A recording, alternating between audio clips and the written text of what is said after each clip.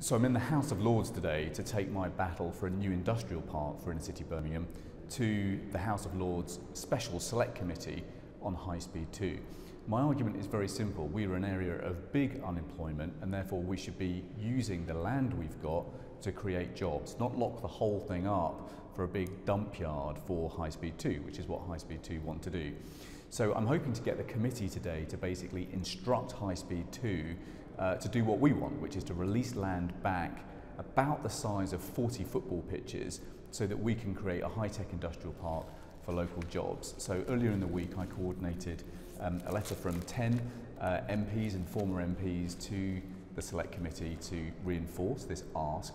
Um, and we had a bit of a breakthrough this week in that we've actually got a letter back from the Transport Secretary, Chris Grayling, uh, to me basically saying he agrees that the right objective uh, is to maximize the amount of land uh, for jobs. So it's really frustrating that we've had to drag High Speed 2 kicking and screaming through this process, but I'm hoping today we'll get the House of Lords rowing in behind us.